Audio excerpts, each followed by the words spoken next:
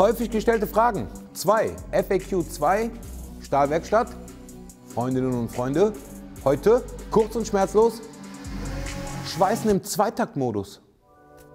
Takt 1. Es beginnt der Schweißprozess mit Drücken des Tasters. Gasvorlauf eingestellt über eine Zeit. Das Gerät strömt Gas aus. Ist diese Zeit verstrichen, zündet das Gerät mit dem eingestellten Startstrom von 20 Ampere und der Stromanstieg beginnt. Der Stromanstieg beschreibt den Weg von unseren 20 Ampere Startstrom bis hin hoch zu unserem eingestellten Schweißstrom.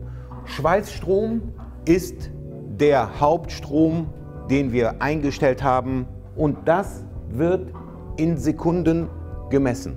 Takt 2, was passiert? Wir kommen aus Takt 1 und halten immer noch gedrückt. Wir befinden uns in Takt 1 so lange, bis wir den Taster loslassen. Jetzt beginnt Takt 2. Takt 2 startet mit der Stromabsenkung.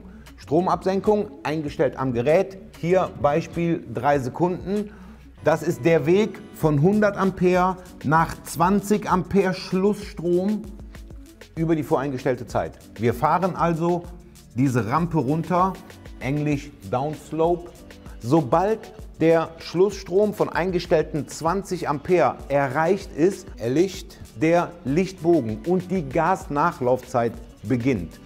Das ist der Punkt, wo wir immer noch die Keramikdüse auf unserer Schweißnaht halten. Bis zum Ablauf der Zeit, der Schweißprozess ist beendet. Freunde, das war jetzt einmal komplett Takt 1, Takt 2.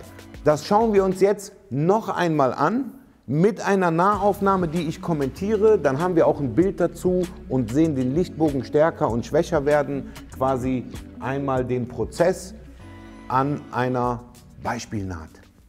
Der erste Takt beschreibt diesen gesamten Zyklus von Zünden mit Gasvorlauf mit Stromanstieg, Startstrom bis hin zum Schweißstrom. Solange wir den Taster gedrückt halten, schweißen wir. Das kann beliebig lange sein. Bitte hier die Einschaltdauer beachten. Neues Thema, andere Folge.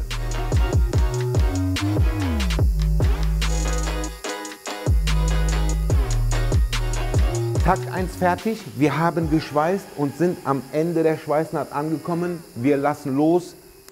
Der Prozess für Takt 2 beginnt und er startet mit der Stromabsenkung bis hin zum eingestellten Schlussstrom. Gasnachlauf beginnt, voreingestellte Zeit abwarten, Zeit abgelaufen, Brenner von der Schweißnaht abheben, die Naht ist fertig. Was wir jetzt gesehen haben, quasi einmal diesen gesamten Durchlauf, den habe ich euch gezeigt auf Basis dieser Maschine. 200 Puls D. Wenn ihr eine kleinere Maschine besitzt, dann differieren die Funktionen. Dieses bitte beachten.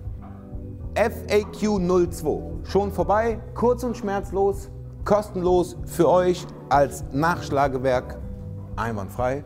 Freundinnen, Freunde, wir sehen uns wie immer in der nächsten.